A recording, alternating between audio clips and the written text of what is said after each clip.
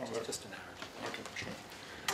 Okay, well, the first, uh, the key thing I think to recognise is that we have a major problem globally on sustainability. We need about one and a half planets to live on at the moment. If we all lived at US levels, we need about five planets, Australia about four, and so on. I mean, quite clearly that's not a sustainable proposition. And something has to give in terms of the way that we're actually uh, going to live in the future if we are actually to um, sustain 7 billion people, let alone going on to 9 or 10. We're already seeing the convergence of various limits because of that constraint, um, particularly on the peaking of conventional oil, climate change, water, food security, and um, finally financial and social instability. The first four of those are basically biophysical. And this is not something that's acknowledged, I think, in the conventional discussions uh, amongst economists or politicians or business leaders. But basically, the biophysical constraints are now driving the global economy. And if you look at what's happening, for example, in Egypt and Syria at the moment, it's talked about in religious or conflict terms um, and political terms. The core drivers behind it I would argue is basically climate change. And uh, that is an example, I think, of what increasingly is going to happen around the world unless we start to take far more rapid action than is being contemplated. A very quick bit of paleoclimate history. This is a picture of the world since, uh, well, 65 million years ago. Um, oh, sorry. Okay, sorry about that. this is a quick view of the paleoclimate history of the world over the past 65 million years ago. I won't spend a lot of time on it. But the period in which we've evolved is the Holocene, which is right at the right-hand side here, the last 11,000 years, that tiny little bit in which we've evolved as we currently are.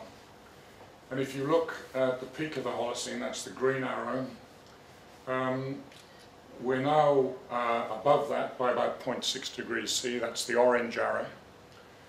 And if you look at the red line of 2 degrees C, which is the official target we actually have, and you go back in time, that takes you to the point at which the Arctic started to ice over. So if temperature rises to 2 degrees C, which is our official target, then that implies over time that there will be no ice in the Arctic. And if you go to 4 degrees C, which is what the uh, trajectory we're currently on, you go back way back to uh, about 37 million years ago, which is the point at which there was no ice in either the Arctic or the Antarctic. So what we're talking about is a set of implications which are dramatically different from anything that we're being told officially, in the sense that um, 2 degrees C will have a 6 to 7 metre sea level increase, which will wipe out cities like London, New York, Shanghai and so on in the current form. And if you stick to where we're currently going, 4 degrees C will produce 70 metres rise over time. Now that's not going to happen tomorrow morning. It's going to take a long time for that to evolve. That's basically what you're locking in by taking the position that we are.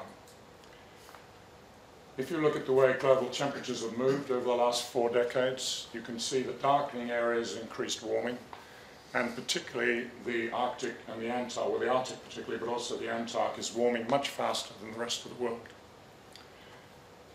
What are the implications of that? Well, it's in the way in which sea ice is disappearing in the Arctic, and this shows the uh, history since 1979 of, uh, of actuals, the um, variable lines and the smooth lines are, are fits basically through that quadratic fits. And what it's looking uh, on current trends, it will be ice-free in summer in the Arctic by 2015 and probably all year round by 2030. Now this is stuff which wasn't supposed to happen until 2100. So big changes are taking place.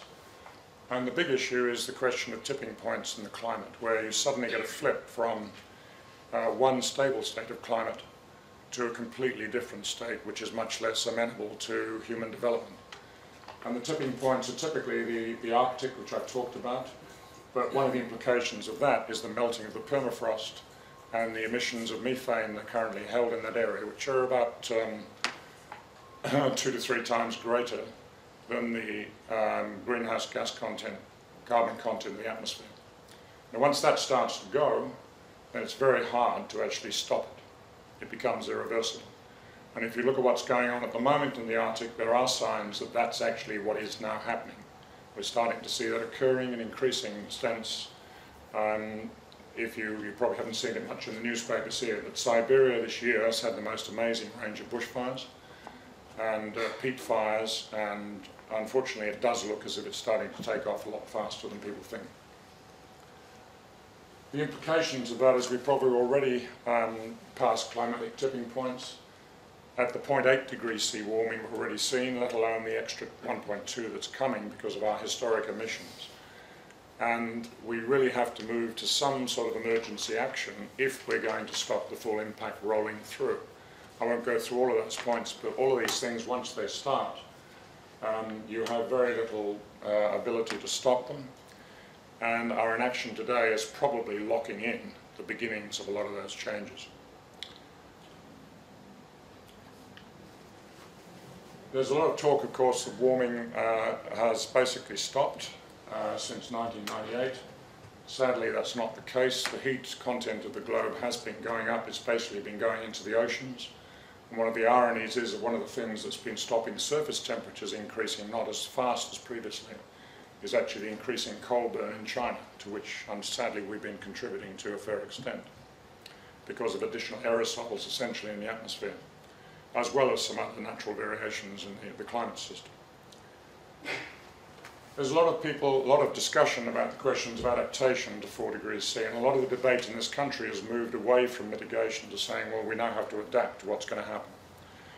But what does 4 degrees C really mean? Well, unfortunately, it means a world where population probably reduces from a combination of effects from around 7 billion to about 1 billion. And these are some of the comments that you get from the top scientists around the world. so this is not a situation you can adapt to. It isn't possible to adapt to a 4 degrees C world. Business is not possible in that world. You actually have to mitigate to stop it happening in the first place. And that's the point we're fundamentally missing. so what's happening on the energy front?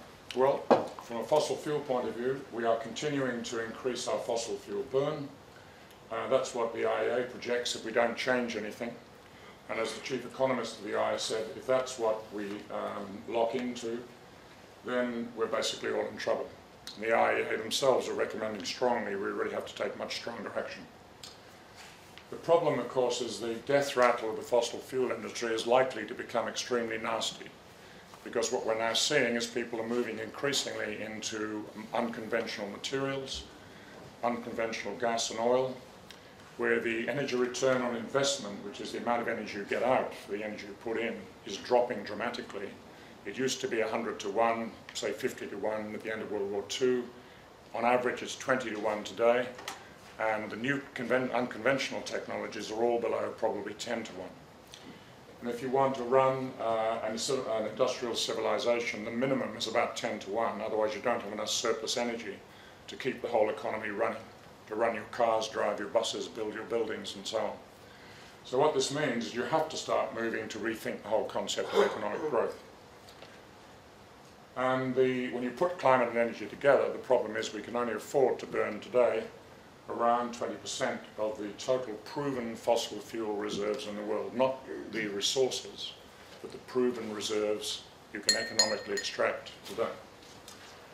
So you then have the question, well, why are we continuing to explore and what value do we place on fossil fuel companies? So most of that um, fossil fuel has to stay in the ground if we're to stay below 2 degrees C, and 2 degrees C itself is even too, too much. The official solutions are not working The things like carbon capture and storage, clean coal, and so on. Uh, we're locking in high carbon infrastructure today, which will mean our emissions are locked in if we don't do something about it. And big changes to the system take decades to put in place. We really have a fundamental leadership failure in terms of what we, um, the responses we're making to it at the policy level. I won't go through all of those, but it spans the political system it expands business, I think major NGOs, sadly. And the fundamental problem is a lack of systems-based thinking where you actually join the dots and put all this together. We have solutions, but we really have to move to emergency response if we're going to have any chance of staying within a level which prevents dangerous climate change, and it's a much greater level of response than we're currently seeing. It does require an emergency war footing, in my view. I don't think there's any other way to do it. Um, we do need to talk about it. I know people don't like talking in those terms. But divestment is an essential part of that, as a, a part of the acceleration of the process um, of starting to move to that emergency level. So just to summarise, the challenge is much greater than anybody is telling us. Um, the official solutions are basically not working. We're not going to see a resolution just by market forces. It's going to take a lot more than that. And the wall footing approach, I think, is essential. And divestment, as I said, then becomes a key part of it. Thank you very much.